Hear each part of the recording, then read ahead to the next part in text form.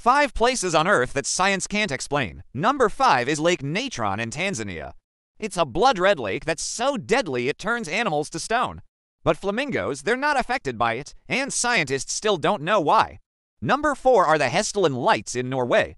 For decades, glowing orbs have been spotted floating and darting across the sky. They've been captured on camera, but no one, not even scientists, know what they are. UFOs, maybe? Number 3 is Eternal Flame Falls in the USA behind this tiny waterfall in New York State. There's a flame that burns endlessly.